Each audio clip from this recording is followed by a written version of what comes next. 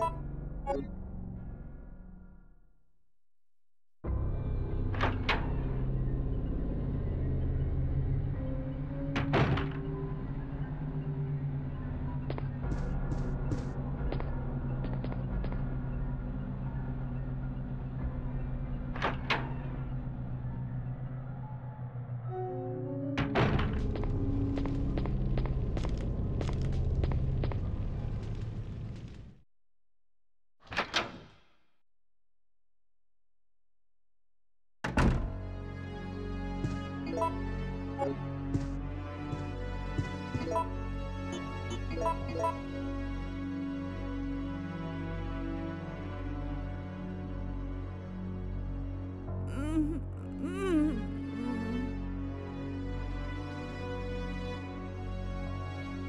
Barely made it.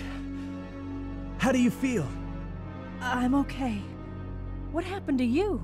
I just fought with that monster. Uh, I've got some bad news. Nikolai's still alive.